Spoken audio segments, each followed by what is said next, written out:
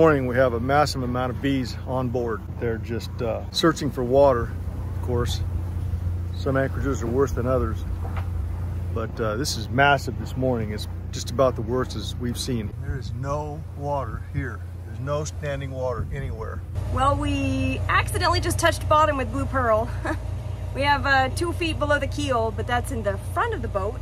And back here, where we are just a few feet from the beach, we just felt her kind of, I mean, it's totally fine. It's a sandy bottom, but a little unsettling. And of course, it's been completely flat here.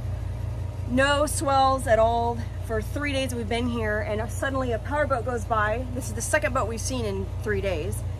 And now we have swells. So we're hitting the boats moving like this and hitting the bottom every just a few just a few times but still it's quite unsettling 1.7 feet below the keel but good news is here the tide's going up. So we're right here. Just an awkward coincidence that we have both a very low tide this morning and the wind shifted our keel around uh, towards the beach where it's the most shallow. And every once in a while we, we can just so feel a weird feeling when we bump and the whole boat just sort of does a little shake. That's a That is shudder. a very uh, uncommon feeling aboard. Well, between the bees, the super low tide, and bouncing off the bottom, we've decided to go ahead and take off. I just put up the mizzen and the main all by myself while we're here at Anchorage, with of course the guidance of my husband and the uh, boat hook because the sails don't always go up properly, and uh, because I'm still learning. So it's fun to not have to be told which line to grab, which cleat to open, which all the terminology that I'm still learning. It takes a lot of practice, a lot of time, and the desire to actually learn to try to understand it all because there's a lot about sailing that is just common sense. Okay, you ready to go? I'm gonna idle forward, okay? Pulling up anchor by hand is quite exhausting and is definitely proven to keep us in one place a little bit longer than we, usually would because it's like, so do we wanna move? Oh yeah, we gotta pull up the anchor. but that's okay. I mean, at least we had the ability to pull up the anchor. It could be worse. Not really sure how, but I, it could be worse. We would, I don't know. Anyway, we're still having fun. Bay of Conception, here we come. Yep. How many miles you say we got? 23, 23 nautical miles. It's going to be a little lumpy because we've had some north winds, so uh, the Swells. lumps are going to be right on the beam. So we'll see how we do. We got some good wind. We got seven knots. Awesome. Feels good already. It's just now 10 o'clock. 10 o'clock. We already got seven knots of wind, true. And so, uh, you know, we haven't had that in weeks. I don't think it's been just dead calm until 10 o'clock. So uh, we're good. We're hopeful for some uh, really good tailwinds here coming out of the south and southeast. So we're going to kick some butt today, I think. Yeah. We just saw a whale. It was so cool. I'm just standing in the cockpit and there it was right next to our boat. Came up, just we just saw the back, the whole backside of it came up a couple times. I didn't expect to see whales this far north. I thought we were completely done with that season, but I guess not. Pretty cool.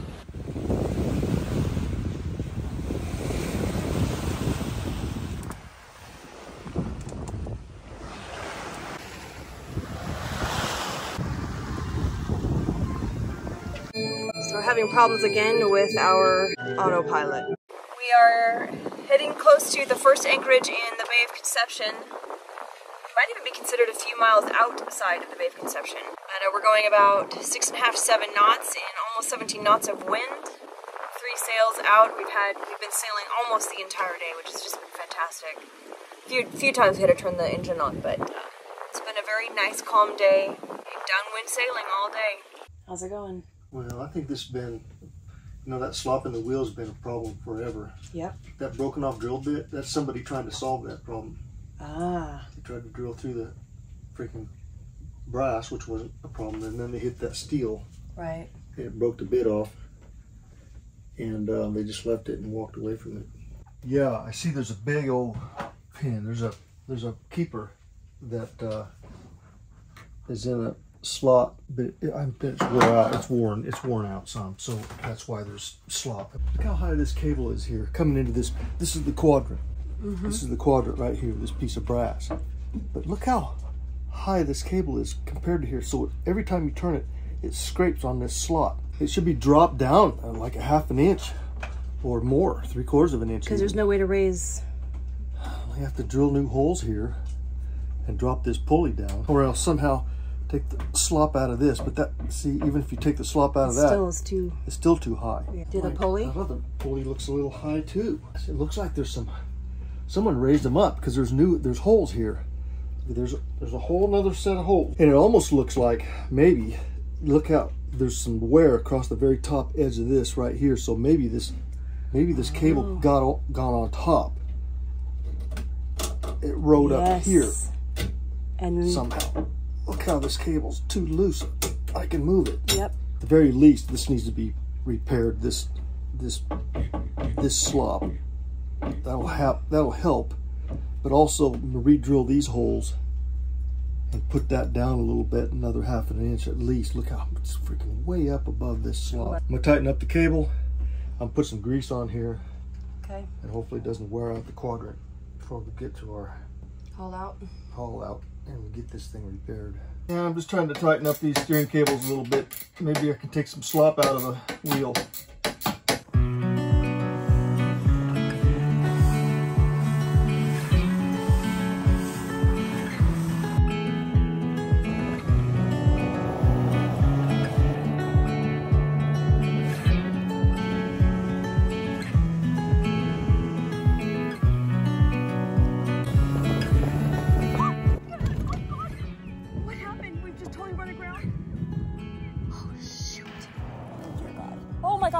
Right here.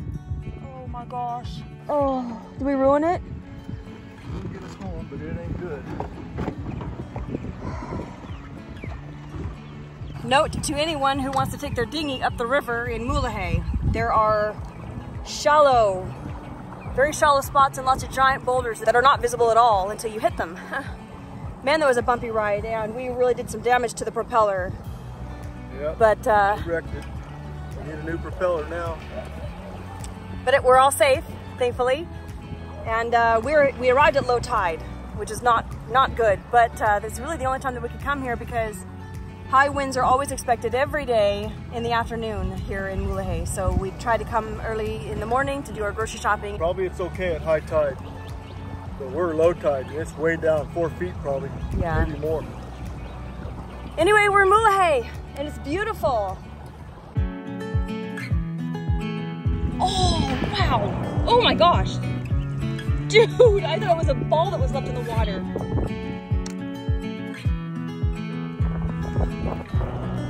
Wow.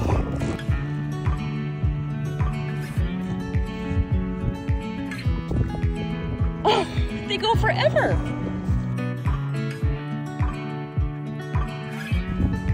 Okay, I just looked it up. These are cannonball jellyfish. I have never seen anything like it in my life. They just keep on coming forever.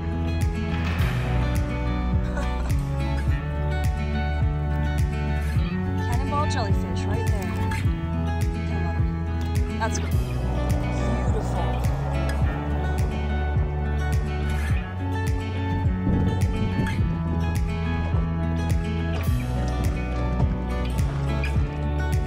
Holy smokes, folks, we made it. Woohoo!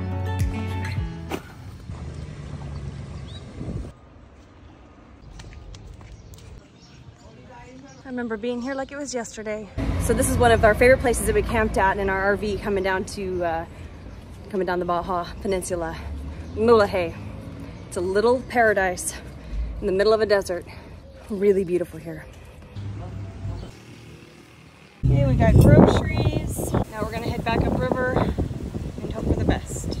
the best. Oh, we came and we conquered. Or we just came, I'm not sure if we conquered. We conquered. Except for we missed out on the fish tacos since uh, they were, nobody had fish tacos today. So that's disappointing, but that's all right. Yeah, got two some- restaurants. Yeah. Two restaurants had no fish. No fish tacos. But we got some Topo Chico, which is delicious fizzy water. We're feel refreshed and ready for a seven plus mile journey back to Blue Pearl and check on our babies.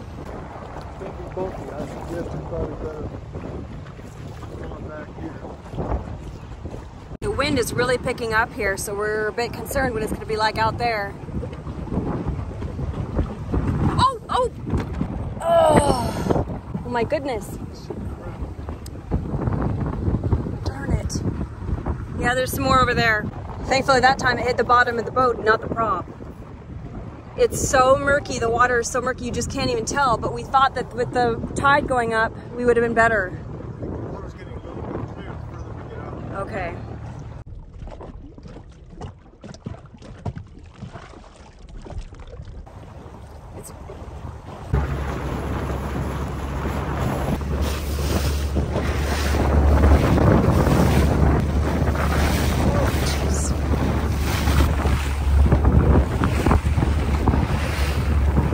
Definitely a lot bumpier going back than it was coming, which we expected because it always gets windier in Mulegé in the afternoon. Uh, but it, it's worse than we thought it was going to be, which is a bummer. How fast were we going when we came in? We were going about 25 miles an hour headed in to Mulegé, and now we're going seven. It's going to be a long, a long drive back, but trying to play it safe as we can here. Oh well, we made it back to the boat in one piece, but man, we are run ragged. Oh my goodness. That was a long drive back from Mulegé. And uh, we're wet, totally got soaked. I'm sandy. No, I'm not sandy. I'm salty and I'm tired. We're both tired. So, but we made it and we got groceries and we are about ready to head south into the Bay of Conception. Uh, I think we'll leave tomorrow as soon as the winds are favorable. We're very much looking forward to getting back to the Bay of Conception. It's been a long time since we've been there. We have one sail out, the jib, and no engine. We are approaching Santispac. It's very, very exciting. We have spent the entire day sailing here. We decided not to turn the engine on at all, even when we dropped down to about a knot and a half for quite some time because we only had eight and a half nautical miles to go today and we weren't in a big hurry. So we are arriving here. We have two and a half nautical miles to go. Uh, we just now picked up some pretty good speed. We're going over four knots now at nine and a half knots of wind, which is fantastic.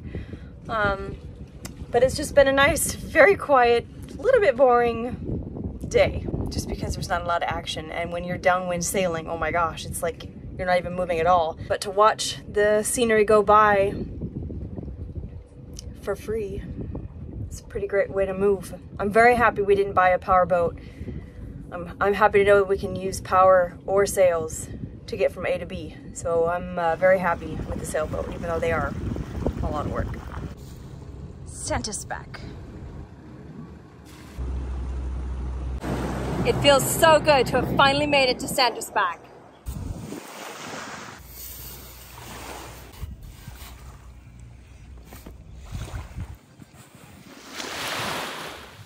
So very many fond memories of being here.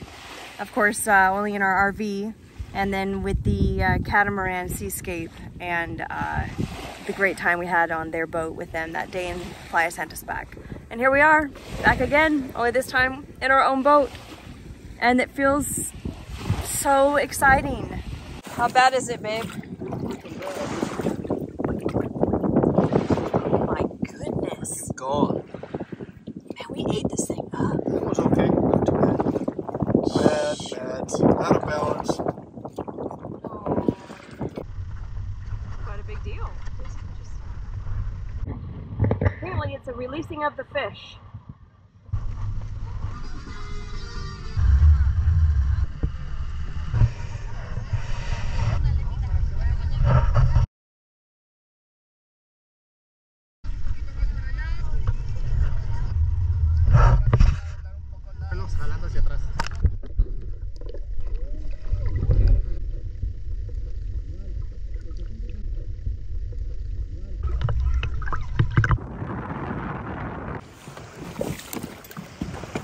Good news. This darling little restaurant in El Burro has reopened after it was flooded out a year ago.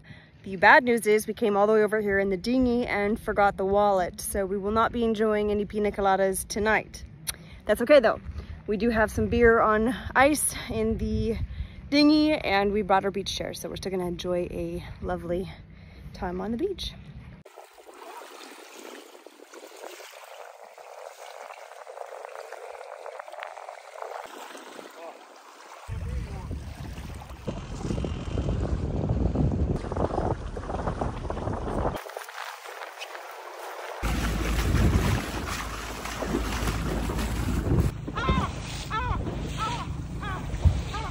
They don't like us here, that's for sure. Oh boy, we, must have some nests. Ooh, yeah. We are unwanted.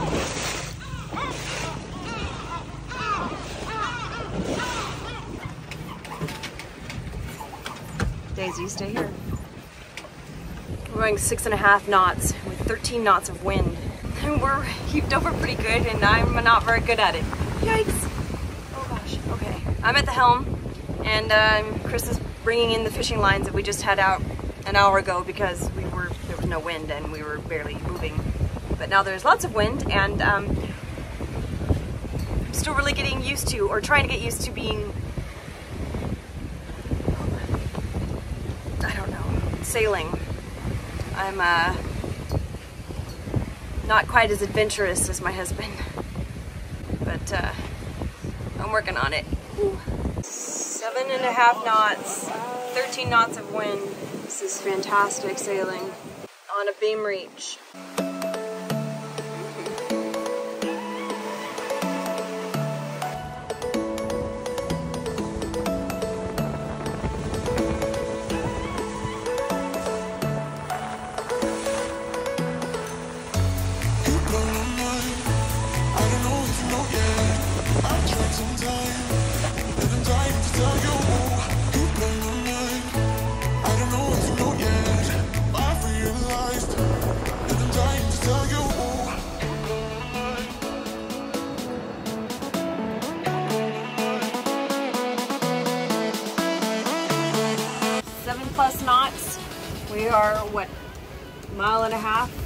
Nautical miles to our destination, Punta Chivato. Excellent day of sailing. We made really good time. Oh my gosh. 23 nautical miles flew by. Three sails out. We have The main, the mizzen, and the jib. We had we did 20, 20 plus miles on the same tack today, reaching the whole way. it's fantastic. Daisy. Been good. Very nice.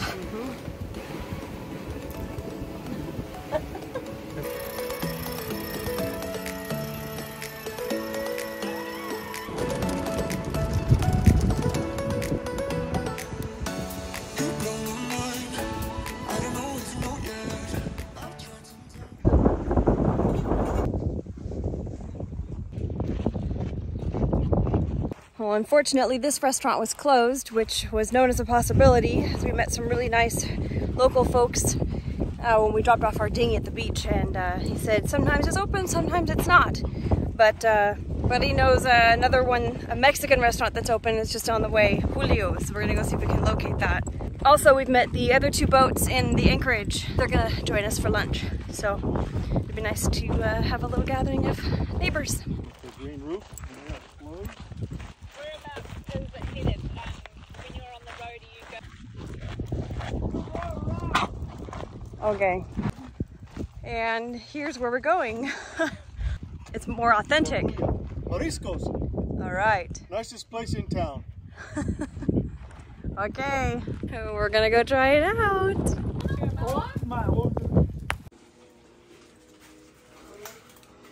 Una mesa para seis, Seis. personas. Okay. Okay, guys. Cheers to new friends and Yeah. new, new places.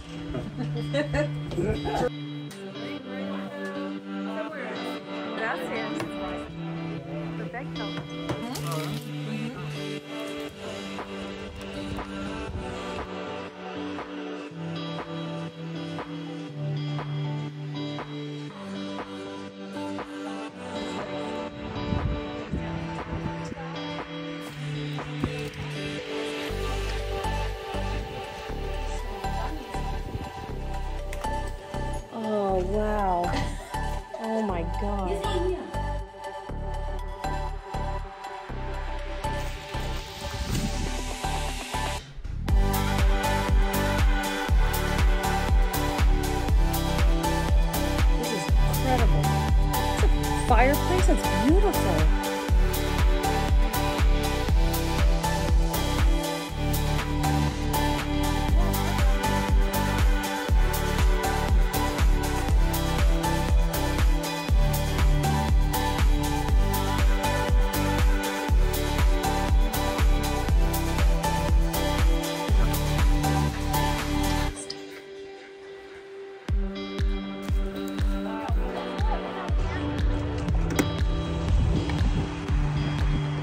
Invited this super fun crew over to Blue Pearl tonight, so happy hour starts shortly.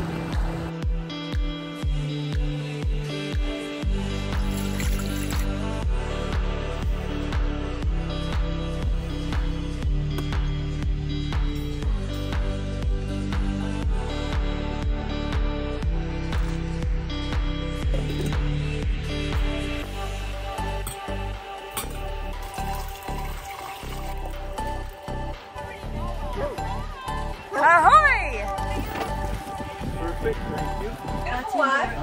Yes. Yes. Cheers.